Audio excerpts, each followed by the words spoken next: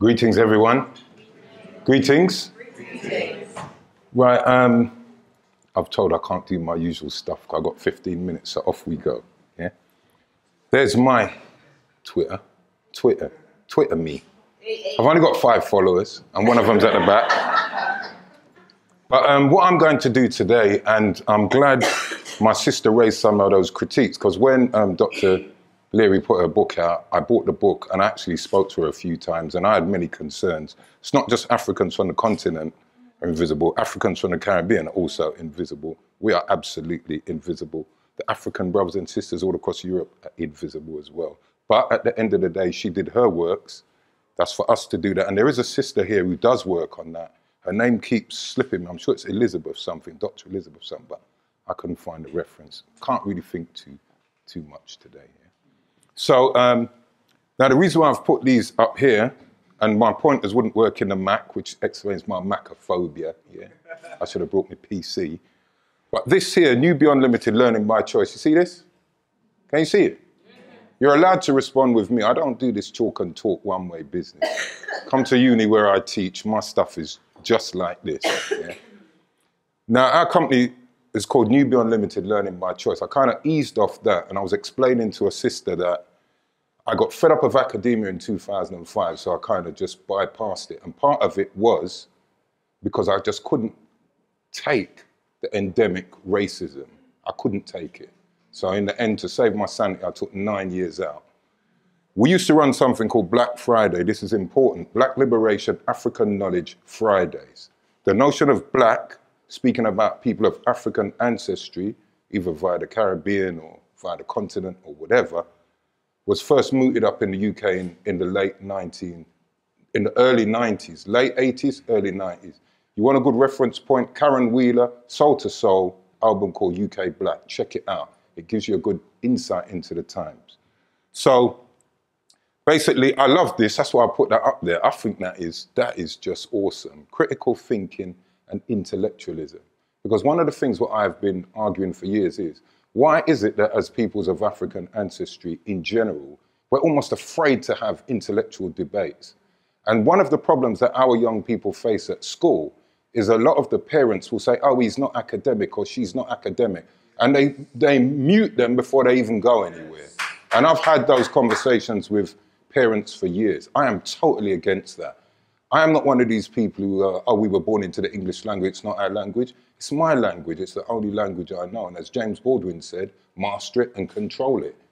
Understand that the assumptions that it is founded upon are your enemy, but you understand the language, you control the language. That's the best way to deal with your enemies in that language, in my humble opinion. Okay? So let's go. Anybody familiar with this? See, that's why I know you ain't been coming to my stuff, yeah? But this guy here, 2007, he said Africans are less intelligent than Westerners. A lot of people got bent out of shape. He didn't say Europeans, he said Westerners. There's a clue in there. Because if we're going to talk about post traumatic slave syndrome or anything, we have to understand what underpins it so we can counter it. We can identify exactly what it is and stop having some wrong headed conversations branding all white members of the human family as racist. Because to me, that's just foolishness mm. we, are, we have been controlled and manipulated for at least 350 years in this particular way. And I, I know people talk about this Willie Lynch thing. That is an absolute myth. It's totally out of context. Willie Lynch. Okay, I don't know if you lot have heard about it. We can discuss that in the Q&A. Just ask me to explain why. I'm not having the time to do it yet. So look, you see these images. What have they got in common? The images to the left Bad versus good. Black is evil, white is good. Devil, God. But that is racial profiling. So when you hear them talking about racial profiling, that's it manifests in different arenas. Don't only think police authorities. Think about how these things manifest. So this is, and now I'm giving you a snapshot into a book that I'm working on. I've been working on it for a couple of years, but I nicked this bit out of it. This is what I think we need to consider. Okay, any of us who say we're into liberation. Okay, so WRMS, white, racist, master syndrome. This is what I think we need to think about. White racist master syndrome. Don't teeth it because I've already copyrighted it. but this is one aspect of a book that I'm working on. And for me, I'm going to give you a little insight into that. So, this is what it is a definition of which includes but is not restricted to. Okay? So you'll see, if you read any of my books, you will see I like critique, I like commentary, and I like when people come up to you and say, oh, you know what, Brother Les, Dr. Les, you didn't think of this. Then I can use that to build what I need to do to go on. Okay? So never be cowed. I know I can be pretty aggressive. If you met my dad, peace be upon him, you don't understand why it looks so terrible, terrifying. Yeah? But it is. So let's have a think about what this is.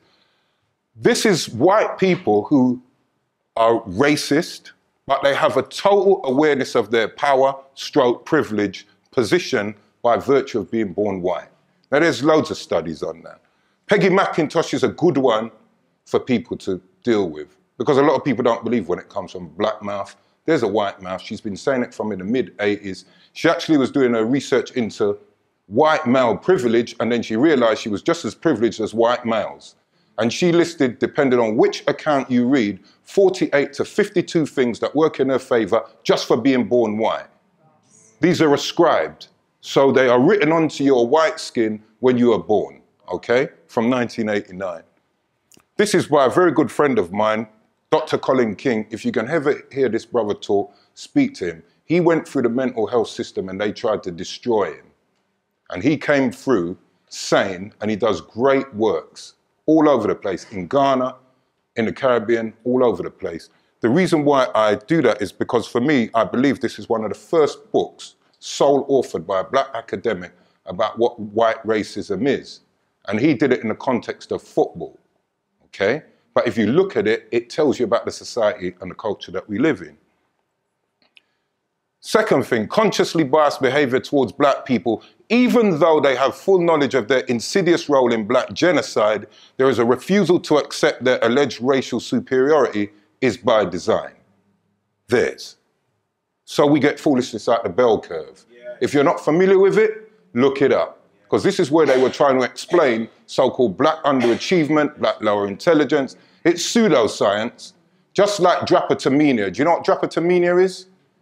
Drapetomania was the illness that slaves suffered from when they ran away from the plantations because they were not running away to freedom, they were running away from freedom.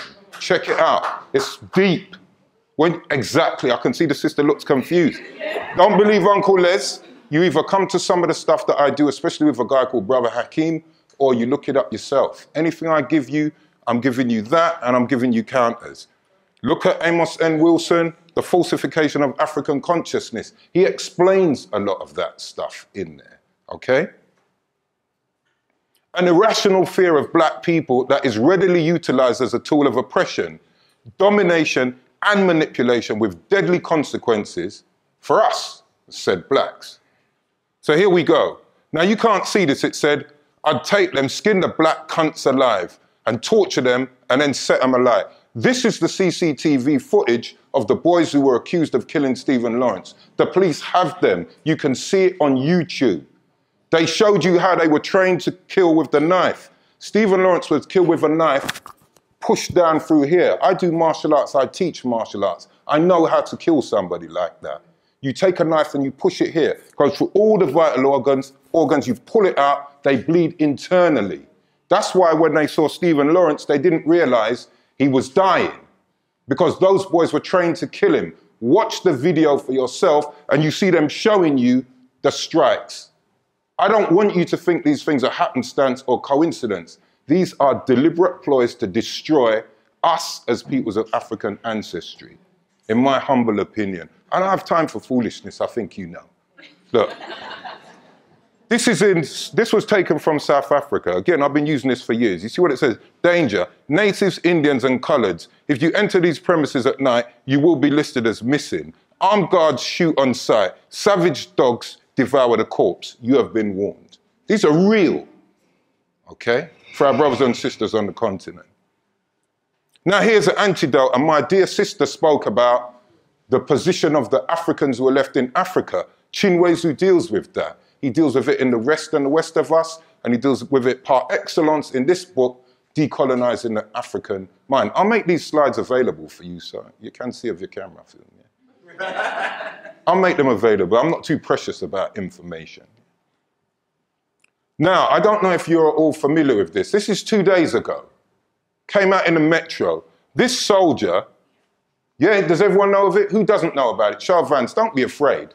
Because that's what we're here to impart knowledge and then get the hell out of Dodge. Five minutes. Yeah? Okay. Now, this guy here, look.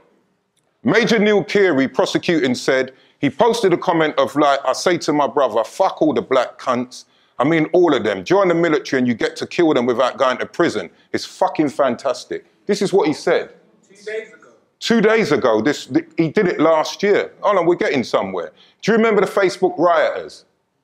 They incited a riot on Facebook during the 2011 disturbance. It was taken down within two hours. They got four years. Four years. Okay? This sister here, rightly or wrongly, promoted Islamic terrorism on Facebook, got three years. This is what this white boy gets a soldier. The post was allegedly up for 30 minutes, within which time it received 3,000 likes. He got 24 days. 24 days. Look it up. You think I'm imagining stuff? Look it up yourself.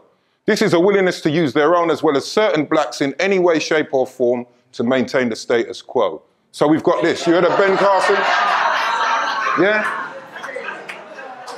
This is why I was saying to my brother Nigel that I do not send out my presentations because I know something will come up that day that will be relevant because we live in this world. It doesn't change so drastically. So whiteness is the ever-present non-presence that molds and shapes reality. It's on the back of my cover. This for me is what underpins this stuff. But here we go. In this book, my book, Whiteness Made Simple, I self-publish. You support me, you support me, you don't. I don't, I won't say I don't care, but you know, knock yourselves out. But in that book, I've got a chapter called Crouching Niggers, Hidden Crackers. Now, I did that as a lecture at Goldsmiths College in 2003, and I was explaining to some people that every year Lewisham Council used to have a lecture for Black History Month. And I used to deliver that keynote lecture at Goldsmiths College on behalf of Goldsmiths College, Lewisham Council. When I left there in 2005, last time I did it. But in 2003, when the film Crouching Tiger, Hidden Dragon came out, remember that movie there? Yeah. So I played on that. But what I did was I said, why don't we focus on the white people who are manipulating these Negroes, and I will call them that. Why don't we focus on them? So one chapter in that book does that. And to close, yeah, we have a continuous per perpetuation of fake news and other forms of misinformation that paints black people as